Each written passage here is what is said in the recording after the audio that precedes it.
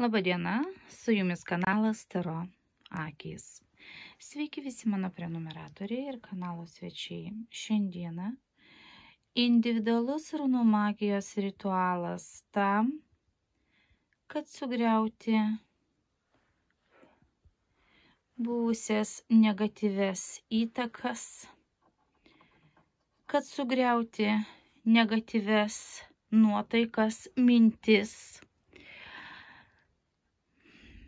tos, kurios skverbėsi primindamos apie praeitį, neleisdamos siekti pusiausviros ramiai gyventi ir planuoti tolimesnius gyvenimo įvykius.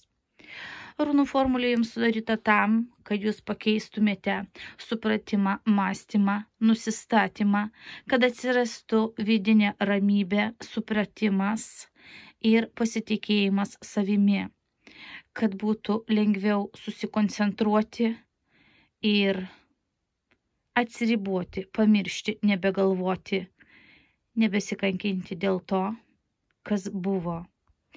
Runų formulė tuo tikslu jums ir sudaryta.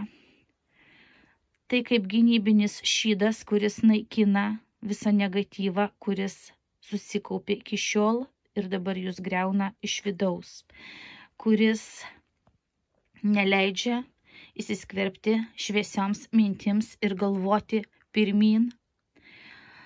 Formulė sudaryta, kad jūs šitą sunku etapą įveiktumėt lengviau ir ateityje padarytumėt teisingus pasirinkimus, naujus pasirinkimus,